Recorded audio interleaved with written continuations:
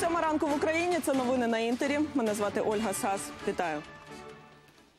Один український воїн був поранений внаслідок ворож- ворожого обстрілу на сході України. Загалом впродовж минулої доби російські найманці один раз відкривали вогонь по наших позиціях і знову із забороненого мінськими угодами озброєння.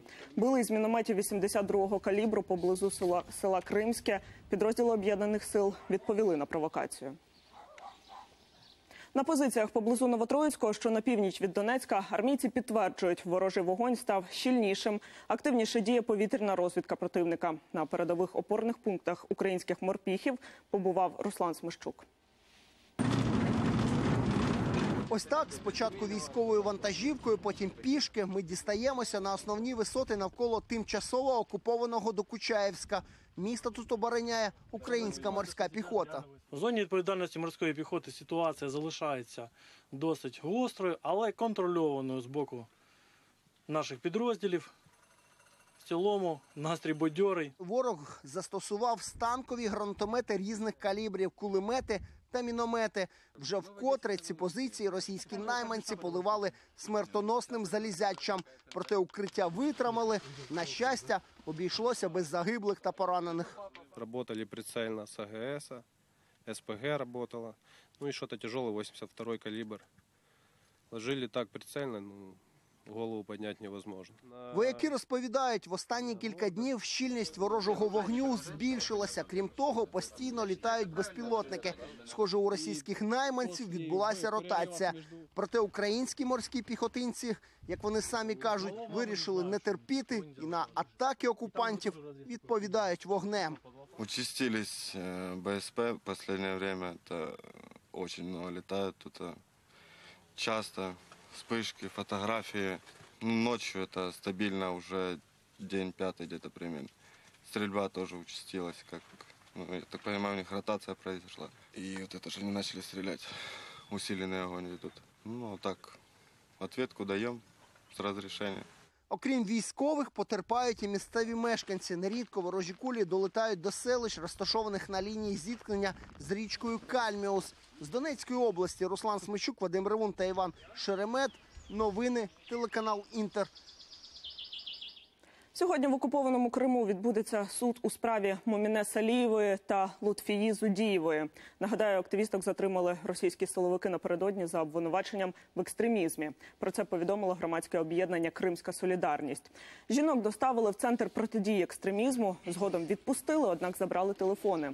Моміна Салієва, дружина політв'язня Сейрана Салієва, заарештованого торік у жовтні, має чотирьох неповнолітніх дітей. Вона заснувала проект Кримське дитинство і допомагає дітям, чиїх батьків затримували в Криму. Про Лутфію Зудієву відомо, що після 14-го року вона стала громадським захисником, активно відвідувала суди та висвітлювала події у анексованому Криму. У неї також четверо неповнолітніх дітей.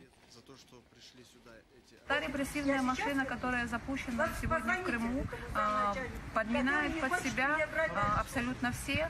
И сегодня это акция устрашения не только двух наших активистов, не только а, крымско-татарский народ, но это акция устрашения всех крымчан, которые сегодня проживают. И адекватная оценка со стороны международного сообщества, она должна быть а, немедленной. Технічна несправність, неякісне паливо та неякісна підготовка до проведення польотів. Такі версії катастрофи гелікоптера Мі 8 на Рівненщині назвали у військовій прокуратурі. Нагадаю, гелікоптер збройних сил України розбився напередодні. З чотирьох членів екіпажу не вижив ніхто. Наші журналісти побували на місці катастрофи.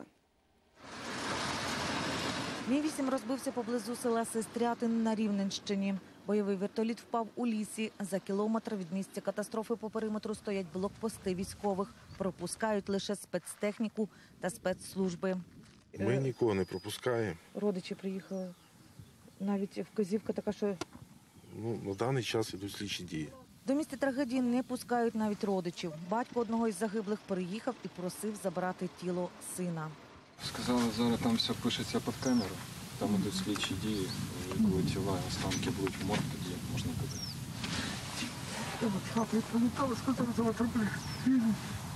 Після падіння вертоліт спалахнув. Його гасили впродовж години. Бойова машина вигоріла вщент, а уламки розлетілися на сотні метрів.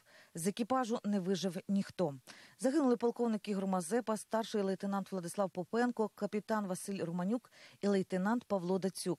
Над Рівненщиною вертоліт здійснював навчальний політ. Це був Мі 8 із 16-ї окремої авіаційної бригади сухопутних військ України. Частина дислокується у місті Броди. Обставини трагедії вивчатиме Державне бюро розслідувань. Це були польоти згідно плану бойової підготовки. Машина була е, після капітального ремонту. Екіпаж е, періодично виходить на зв'язок е, з е, керівником польотів. За певний час е, зв'язок прервався.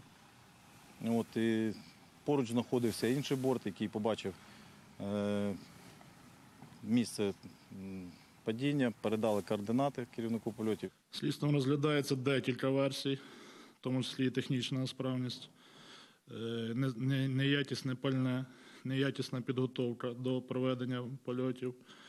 Е, Всі ці версії опрацьовуються. Президент Володимир Зеленський висловив співчуття родинам загиблих, а також доручив начальнику генштабу взяти під особистий контроль розслідування катастрофи. Міноборони за дорученням прем'єра має надати матеріальну допомогу сім'ям загиблих.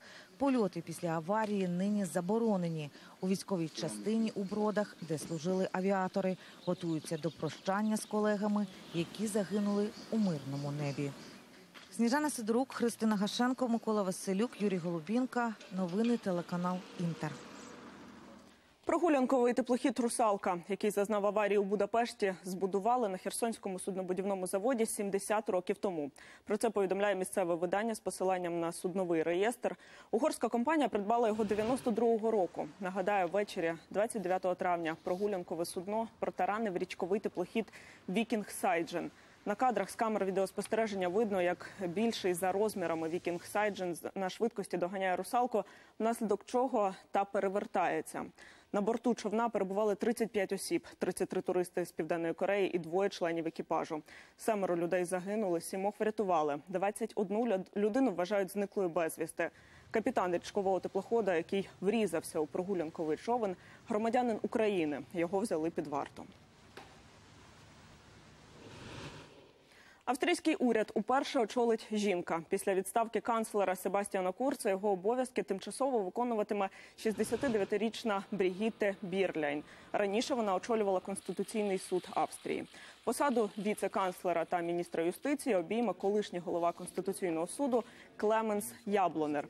Бірляйн виконуватиме обов'язки канцлера до проведення дострокових парламентських виборів, які відбудуться у вересні. Аматорство та несумлінність місцевих компаній. Саме у цьому британський альпініст Мартін Г'юіт вбачає головні причини збільшення трагічних випадків на Евересті. Цьогоріч при підкоренні вершини загинуло 10 альпіністів, що майже вдвічі більше ніж у попередні роки.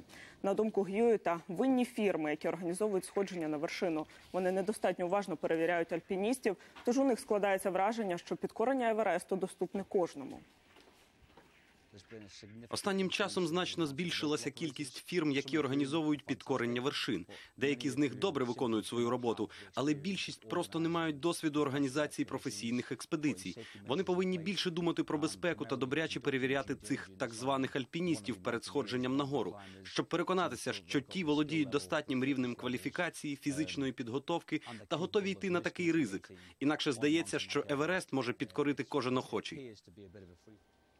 Серіал телеканалу HBO Чорнобиль про катастрофу на радянській атомній електростанції визнали найпопулярнішим телешоу в історії. Про це повідомляє сайт IMDb. Він отримав оцінку 9,6 бала з 10 можливих та очолив топ 250 популярних серіалів усіх часів.